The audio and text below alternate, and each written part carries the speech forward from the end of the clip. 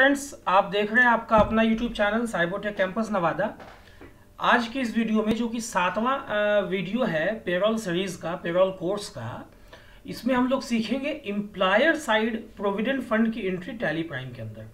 इससे ठीक पहले वाले वीडियो में, जो कि छठा वीडियो था, उसमें हम लोगों ने सीखा था इम्प्लॉय साइड पीएफ की एंट्री टैली प्राइम के अंदर. में उम्मीद करता हूँ वो वीडियो आप लोगों ने देखा होगा. उसमें हम लोगों ने ये जाना था कि इम्प्लॉय का जो कंट्रीब्यूशन होता है, वो ट्वेल्व परसेंट होता है. आज के इस वीडियो में हम लोग जानेंगे इम्प्लायर साइड कंट्रीब्यूशन देखिए इसके लिए जो नियम है जो कंट्रीब्यूशन होता है इम्प्लॉयर का वो भी ट्वेल्व परसेंट होता है लेकिन कुछ नियम है। आ, एक 3.67 परसेंट जो है वो इम्प्लॉयज का प्रोविडेंट फंड होता है ईपीएफ e उसके लिए अलग पे हेड बनाना होगा। और 8.33 परसेंट जो है ये इम्प्लॉयज के पेंशन स्कीम में जाता है ईपीएस e में। इसके अलावा at least employee deposit link insurance scheme में 0.50 जाता है और एडमिन चार्जेस जो है वो 0.50 होता है। तो कैसे उसकी एंट्री करेंगे हम लोग? टैली प्राइम में आइए, चल के देखते हैं। देखिए, यहाँ पे टैली प्राइम के अंदर में आपको सबसे पहले, जैसा कि मैंने यहाँ पे आप लोगों को बताया कि ईपीएफ e के लिए एक पेहेड बनाना होगा 3.67 परसेंट का, एक ईपीएस e का 8.33 परसेंट का, एक एडलिस 0.50 और एक एडमिन चार्जेस होगा 0.50 का। तो कैसे ये बनाएँगे? आपको क्रिएट ऑप्शन के ज़रिए जाना है पेहेड के अंदर और यहाँ पेहेड्स में जाके आपको क्रिएट कर लेना है। तो ये कैसे ये कौन सा चीज़ कहाँ जाएगा? ये सारा एक्सप्लेनेशन साथ मैं बताता हूँ। देखो यहाँ पे आ, सबसे पहले अगर हम लोग EPS at the rate at point three three percent बनाते हैं तो ये चला जाएगा एम्प्लॉयर्स स्टैचुरी कंट्रीब्यूशन में। और स्टैचुरी पे टाइप में यहाँ पे आपको सेलेक्ट करना होगा EPS account account number ten ये आपका इनडायरेक्ट एक्सपेंसेस में जाएगा।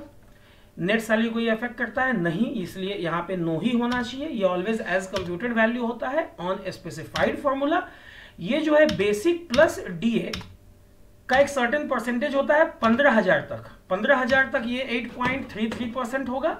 और पंद्रह हज़ार से ऊपर अगर चला जाता है sum basic plus DA basic और डीए दोनों का तो उस केस में 8.33 परसेंट ना होके बारह सौ पचास रुपया होता है। इसका मतलब है कि EPS insurance employee pension scheme जो है उसमें बारह पचास रुपया जो है वो मैक्सिमम अमाउंट है उससे कम रहने पे 8.33 परसेंट है जो कि 1250 या उससे कम आएगा। ओके okay, इसको आपको एक्सेप्ट कर लेना है। सिमिलरली आपको ईपीएफ e बनाना है एट 3.67 परसेंट ये एम्प्लॉयर्स स्टैचुरी कंट्रीब्यूशन में जाएगा, जो P F account account number one में जाएगा, ये भी इनडायरेक्ट एक्सपेंस ही है।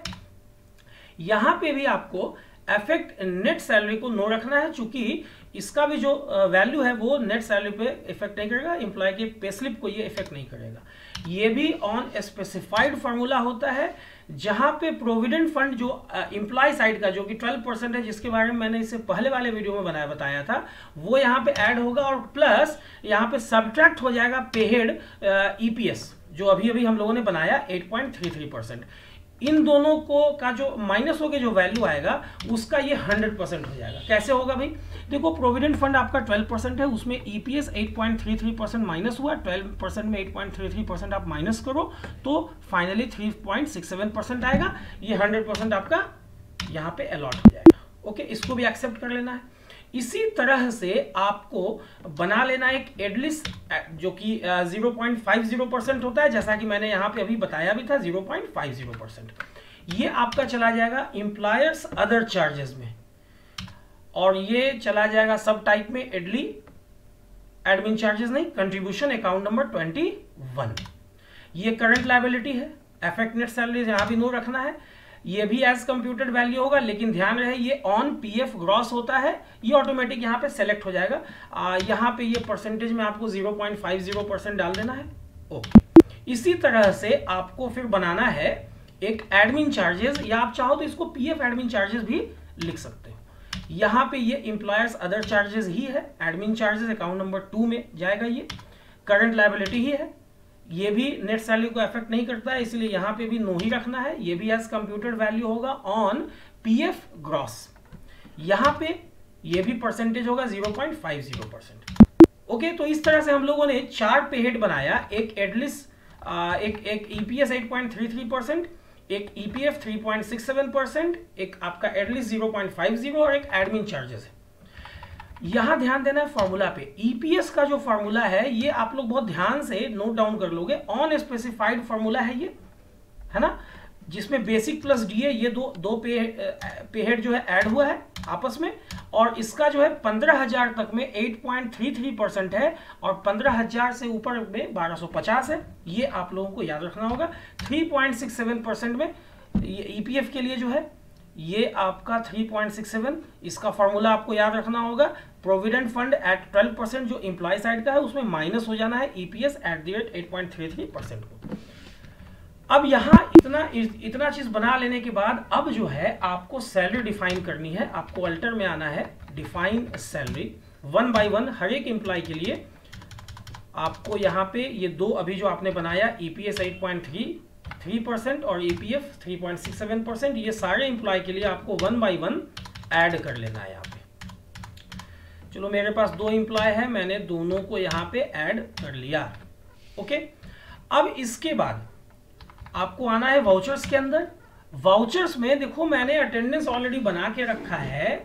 आप चाहो तो पहले से पेरोल की एंट्री भी आप कर सकते हो। वो जो पेरोल की एंट्री है उससे अटेंडेंस का कोई मतलब अभी वाले आज के इस वीडियो की एंट्री से नहीं है लेकिन आ, मैं आ, जिन लोगों ने पिछले वीडियो को नहीं देखा है या अगर ध्यान से आ, हट गया है तो उन लोगों के लिए मैं क्या कर रहा हूँ कि फिर से पेरोल की एंट्री कर ले रहा हूँ ऑटोफिल कंट्रोल एफ़ से अटेंडेंस ऑटोफिल नहीं। यहाँ पे आपको सबसे पहले, चूँकि मैंने यहाँ पे चेंज नहीं किया, मैं यहाँ से स्केप प्रेस करता हूँ। चलो, पहले अदर वाउचर्स में आके मैं यहाँ से पेरोल को सेलेक्ट कर लेता हूँ, जिसका जिसका शॉर्टकट कंट्रोल एफ़ है।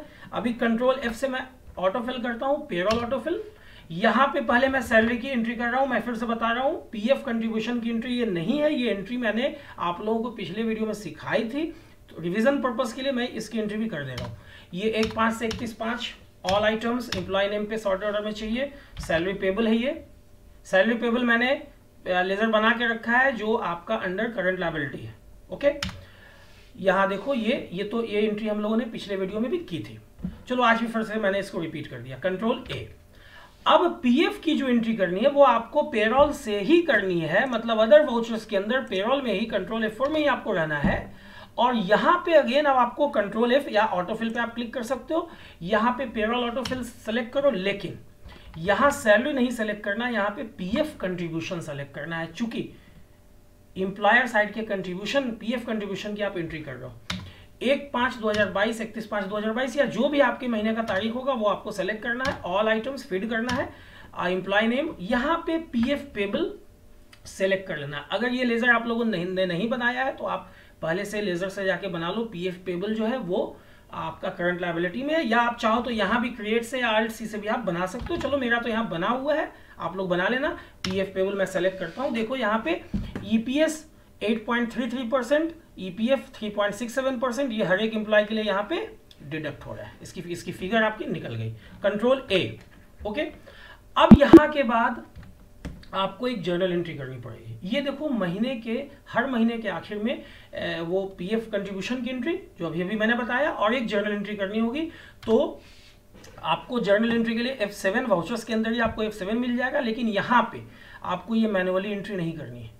ये एंट्री आपको किस लिए करनी है? ये एंट्री आपको करनी है एडलिस और एडमिन चार्जेस के लिए। इसके लिए अगेन आपको ऑटोफिल पे क्लिक करना है, जिसका शॉर्टकट कंट्रोल एफ़ है। यहाँ देखो टाइप ऑफ़ ट्रांजेक्शन में खुद से पी एफ़ अदर चार्जेस यहाँ पे आ रहा है सेलेक्ट करना है। डेट आपको फ़ीड करना है महीने का beginning to end all items expense ledger में पी एफ़ एक्सपेंसेस है। ये लेजर मैंने बना के रखा था जो चला जाएगा अंडर डायरेक्ट एक्सपेंसेस में।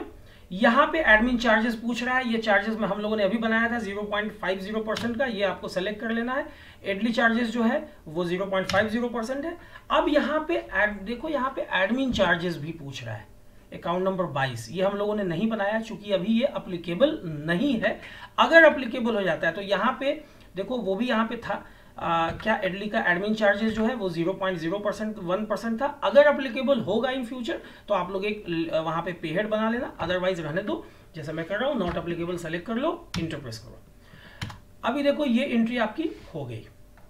ये हर एक इंप्लॉय के लिए ये दोनों एंट्री भी हो गई अब कंट्रोल ए प्रेस करो और यहाँ से अब बाहर आओ। अब देखो इसकी इसके इसका क्या इफ़ेक्ट हुआ? अगर हम लोग बैलेंस शीट में आके देखें तो देखो अल्ट वन यहाँ पे ये करंट लाइबिलिटी पैंतालीस हज़ार नौ सौ पाँच रुपया बारह पैसा है जहाँ पे ड्यूटीज़ एंड टैक्सेस आपको दिख रहा है एडमिन चार्जेस दिख रहा है at least P F payable and salary payable भी है। अभी इसके बाद आप आओ यहाँ से डिस्प्ले मोर रिपोर्ट्स में यहाँ पे हम लोग पेरल रिपोर्ट्स में आते हैं। देखो पे स्लिप देखो राकेश कुमार। यहाँ पे देखो राकेश का या जो भी इम्प्लॉय आप सेलेक्ट करोगे देखो यहाँ पे आ, उसका basic D H R A over time ये अर्निंग्स साइड में दिख रहा है डिडक्शन साइड में प्रोफेशनल टैक्स एंड पीएफ है। बाकी जो है वो चूँकि सैलरी पे अफेक्टेड नहीं है कंट्रीब्यूशन वाला साइड इसीलिए वो यहाँ पे नहीं दिख रहा है। देखो यहाँ पे दूसरे इंप्लॉय को मैं सेलेक्ट करता हूँ, यहाँ पे भी सेम है। अब कंट्रीब्यूशन वाला चीज़ कहाँ दिखेगा? तो यहाँ देखो, आप चले आओ स्टैचू रिपोर्ट में, यहाँ पे प्रोविडेंट फंड यहाँ पे आप मंथली स्टेटमेंट में आओ प्रीव्यू देखो। तो यहाँ पे देखो, ये सारा चीज़ यहाँ पे दिख रहा है कि ये एक एक मई 2022 से 31 मई 2022 का स्टेटमेंट है चूँकि मैंने इसी महीने का आ, ये पेरोल की एंट्री की है। दो इम्प्लॉय का ही किया इसलिए दो इम्प्लॉय का दिख रहा है। कितने दिन लोगों दोनों इम्प्लॉय ने काम किया वो यहाँ पे है। कितना वेजेस अर्न किया है वो है। इम्प्लॉयज कंट्रीब्यूशन 12 परसेंट के हिसाब से जो छठे वीडियो में मैंने इससे ठीक पहले वाले वीडियो में एक्सप्लेन किया था वो यहाँ पे है। और आज का जो कंट्रीब्यूशन है देखो इम्प्लॉयर्स कंट्रीब्यूशन ईपीएस में एट और ईपीएफ में थ्री है। ये कंट्रीब्यूशन की एंट्री भी यहाँ पे दिख रही है। इस तरह से यहाँ से आप चाहो तो जो भी डिफरेंट रिपोर्ट है, जैसे form five form ten form twelve है, ये सारी एंट्री आप यहाँ से देख सकते हो। तो उम्मीद करता हूँ कि आप लोगों ने, आप लोगों के समझ में ये पूरा कॉन्सेप्ट आया होगा। अब आप लोग भी जो है, बहुत आराम से टैली प्राइम के अंदर एम्प्लॉयर्स पीएफ कंट्रीब्यूशन की एंट्री कर सकोगे। उम्मीद करता हूँ इससे पहले का वीडियो भी आप लोगों ने देखा होगा। आप लोग पूरा सीरीज़ फॉलो कर रहे होगे। अगर आप लोग ऐसा नहीं कर रहे हो तो पूरा सीरीज़ टैली प्राइम का आप लोग देखो स्पेशली पेरोल सीरीज़ तो ज़रूर देखना है।